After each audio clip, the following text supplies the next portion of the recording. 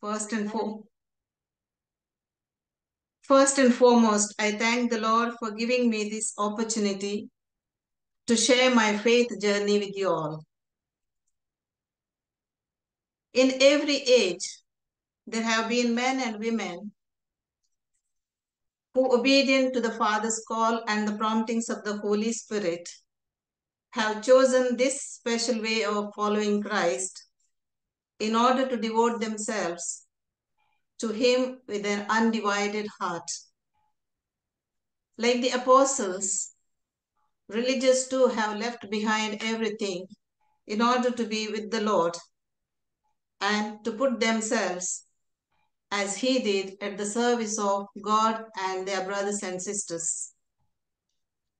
In this way, through the many charisms of spiritual and apostolic life bestowed on them by the Holy Spirit, they have helped to make the mystery and the mission of the church shine forth.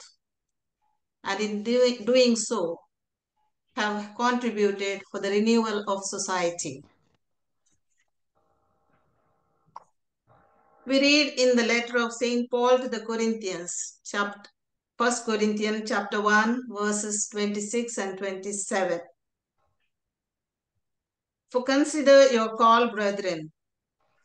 Not many of you are wise according to worldly standards. Not many were powerful. Not many were of noble birth. but God chose what is foolish in the world to shame the wise, and chose what is weak in the world to shame the strong. Religious call is not that which is achieved by one's effort or bought with the human power or the resources at one's disposal. It is merely a gratuitous gift that God offers to us along with freedom, either to respond to Him positively or to reject Him. Even to respond positively, one needs the grace of God and a disposition like that of an empty vessel awaiting to be filled in. The disposition to respond is created through our communication with the Lord through prayer. As young children and even as teenagers, we are unable to cultivate the habit of prayers without and a, and a deep relationship with the Lord without the help and support of the family. The gift of faith that we receive at our baptism is nurtured by the faith of our parents and grandparents. Prayer is the essence for the seed of vocations to germinate and flourish in the families.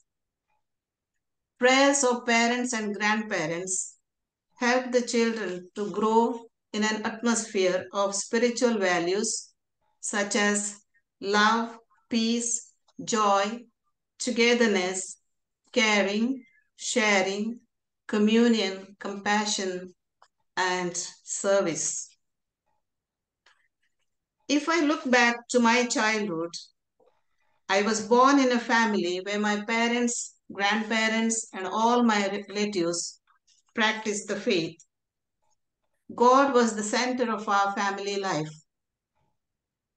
God was invoked and his blessings were sought before and after every activity.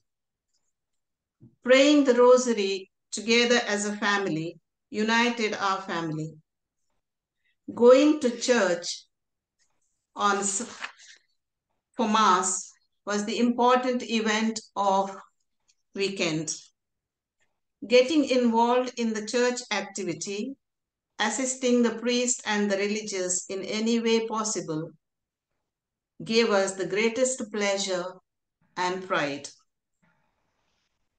Every little activity done at the parish church enabled us to spend our holidays in close association with the church. In the family, the priests and the religious were spoken of as heroes and role models which inspired me to focus on a life of dedication and commitment as a religious. Having seen many of the young girls who joined the religious life when they visited the parish church, I was impressed by their way of life, their kindness, their pleasing attitudes, and the sharing of their experiences as religious sisters. And it motivated me to give my life in service to the Lord by working for the children and young people. The desire to be a religious was with me, within me, from the tender age of 10. And I always prayed that I may be pleasing to God so that he may choose me to follow him. And the desire was fulfilled when a couple of sisters came to my parish church for the vocation promotion and they spoke to me personally and where I revealed to them my desire to be a religious. Thereafter, with the guidance of the parish priest and the support of my parents, I was able to take a bold step to respond to his call and joined an active congregation, Sisters of St. Anne of Providence, at the age of 20. The first phase of my formation, that is postulancy program, started on 7th June 1981. As I joined a couple of months later, they arranged a special prayer service for me to join the group on 8th September on the feast of Our Lady's birthday in 1981. In the evening, as the service began with the sign of the cross, there was a power cut and darkness all over. The postulant's mistress quickly said that although there was darkness, Christ is the light, still shines on us and he dispels the darkness. This thought dominated my mind and heart throughout my formation.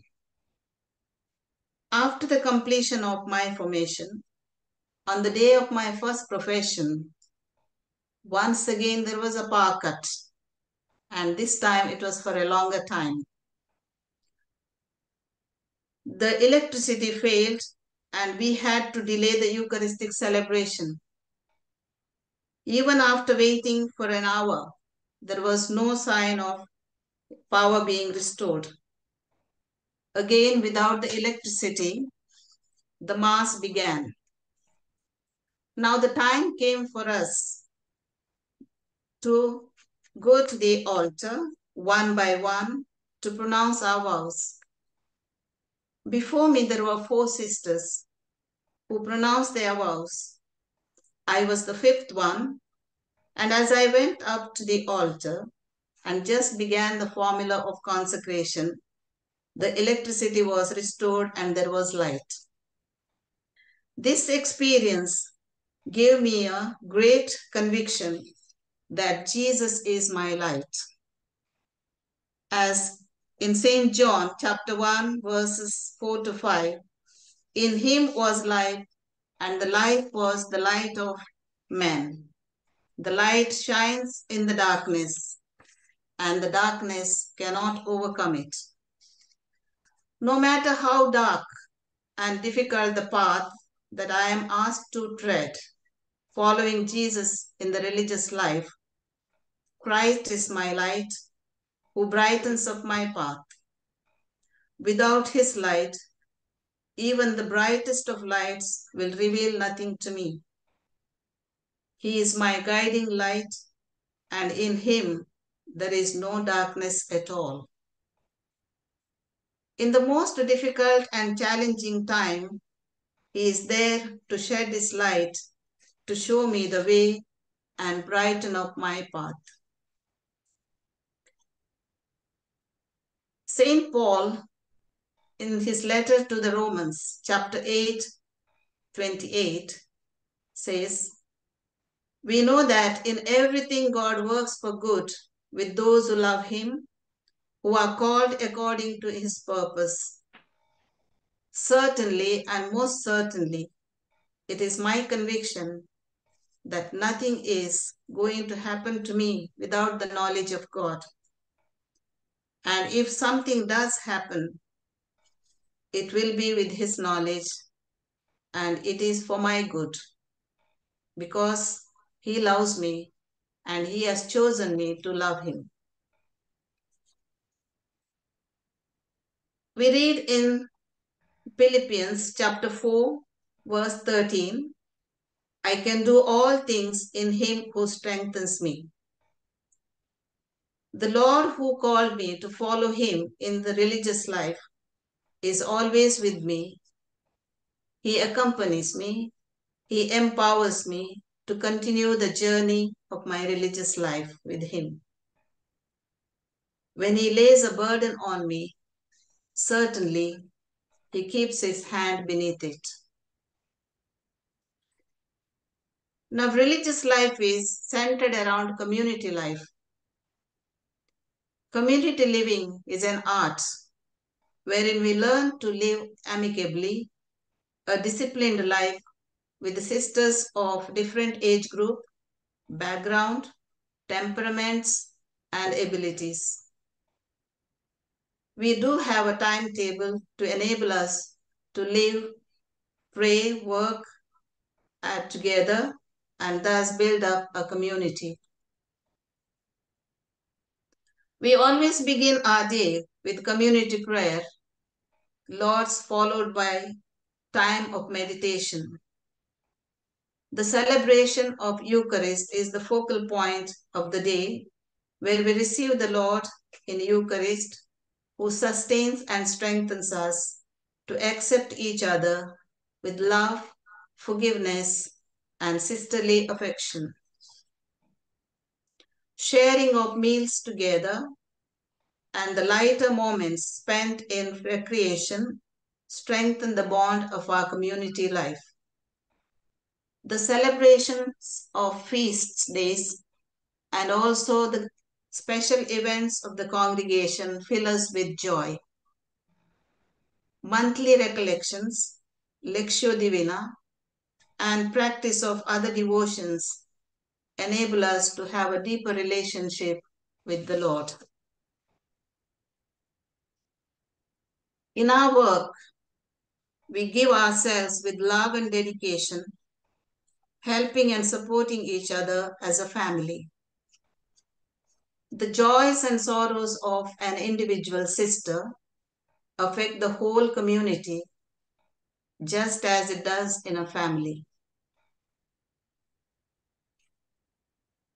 Despite the faith and conviction, at times the religious life can pose many challenges. The changes taking place in society and the decrease in the number of occasions are weighing heavily on the consecrated life in today's world. The apostolic works of many institutes and their very presence in the certain local churches are endangered. As has already occurred at other times in history, there are institutes which even run the risk of disappearing completely. We are not insulated from the temptations and dangers to our faith and calling. Sometimes the vows are put to the test in today's world, which is technologically and economically advanced. When we find people who do not value the spiritual things, but are engrossed in mundane things, we become nervous. When our service and efforts do not yield fruit, when we do not receive the response from our listeners as we would wish to receive, we get discouraged. We feel demoralized when we see the present generation who do not care for spiritual things at all. There comes a question Have we failed in living our commitment? If so, in what way? And how can we revive it? The challenges before us to keep up the gift of faith and to pass it on to the next generation is very grave. To edify the present generation and create in them a longing for the spiritual things and to attract them to a way of life of dedication and commitment in religious life is indeed a Herculean task. Despite all the challenges, dangers, and disappointments, the Lord has been good to me. And I praise Him for His faithfulness to me for the past 40 years of my religious life. It gives me joy to belong to the Lord, who has chosen, chosen me to follow Him more closely. It gives me joy to render thanks to Him for this unmerited gift of my vocation. As a call within the call, He has also chosen me to serve in a distant land, away from my homeland and my people. Here, I have so many people who accept me as their own just because I come to them in the name of the Lord. I belong to the Lord and set apart to bear witness to his love and service. It is my prayer that the Lord may inspire many more young people to respond to his call positively and to dedicate themselves to serve him in the religious life. Thank you. Good evening, one and all. A warm welcome to the world of my story. All of us have a story to share. A story is an experience. Each experience is a memory that which cherishes and nourish. Religious vocation is one such love story of a consecrated person. I am set apart to love and live for God and His church. Today, I would like to share my life and faith journey as a sister of St. Joseph of Tarbes. I am Sister Shanti. When I was in year nine, we had given a project in religious class on religious occasion. But I had never had an idea about this project. So I went to the parish priest and asked him to guide me and give me some materials. And he did, gave me a load of magazines. So I looked in through the magazines and I found a picture of a sister praying in front of the crucifix. So I cut it and made a poster out of it and gave a title saying a sister praying before the crucifix. After making a project, I brought it to the class and presented to the teacher.